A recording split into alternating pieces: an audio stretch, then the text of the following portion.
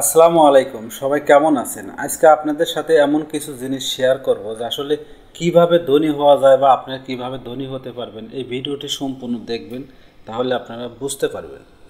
পৃথিবীতে সবাই চায় ধনী হতে, সবাই চায় তার বিপুল অর্থ হোক, সবাই চায় কি করে সহজ উপায়ে ধনী হওয়া যায়, বেশি পরিশ্রম না করে কীভাবে ধনী হওয়া যায়।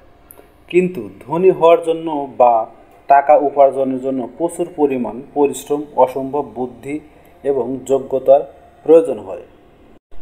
পৃথিবীতে ধনী হওয়ার সহজ উপায় নেই, কিন্তু ধনী হওয়ার উপায়গুলি যদি আমরা সঠিকভাবে পালন করি, তাহলে আমরা দেখতে পাব ধনী হওয়ার, ধনী হওয়া কত সহজ। মানুষ চায় তার কাছে প্রবল ধন সম্পত্তি হোক, প্রবল অর্থ হোক। তাই মানুষ সারা জীবন ধরে শুধু অর্থের পিছনে ছুটতে থাকে। অর্থের পিছনে ছুটলে আপনি কোনো দিনই ধনী হতে পারবেন না। আপনাকে আপনার কাজের পেছনে ছুটতে হবে। আপনার কাজের প্রতি সৎ থাকতে হবে এবং কীভাবে আপনার কাজকে পৃথিবীর সামনে তুলে ধরা যায়, কীভাবে আপনার কাজকে সবার সেরা করা যায়, সেই দিকে চিন্তা করতে হবে। তাহলে দেখবেন টাকা আপনার পিছনে চলে আসছে। আপনাকে আর টাকার পিছনে ছুটতে হচ্ছে না। অর্থাৎ আপনাকে টাকার পিছনে না ছুটে আপনার কাজের পিছনে ছুটতে হবে। তাহলেই দেখবেন টাকা আপনার পিছনে চলে এসেছে। এছাড়াও ধনী হওয়ার জন্য কিছু নিয়ম রয়েছে। যদি নিয়মগুলি জানতে চান, সম্পূর্ণ ভিডিওটি দেখবেন। এক নম্বর, আমরা ইন্টারনেট ও মোবাইল ফোনের যুগে বসবাস করছি। প্রায় সব ধরনের কাজেই আমরা মোবাইল ফোন ব্যবহার করি। কিন্তু কিছু মানুষ মোবাইল ফোনে কথা বলতে চায় না।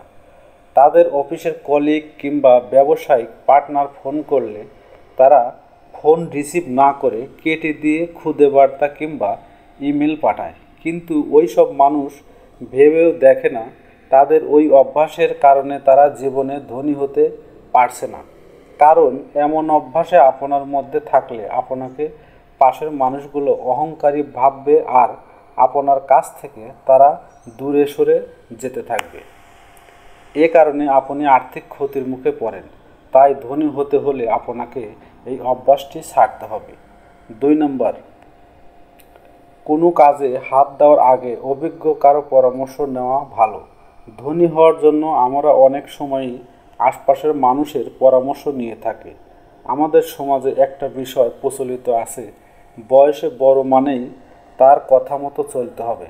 আপনি অবশ্যই বড়দের সঙ্গে সৌজন্যমূলক আচরণ করবেন না। কিন্তু তার মানে এই নয় যে বয়সে বড় হলেই একজন সব বিষয়ে ভালো জানবেন।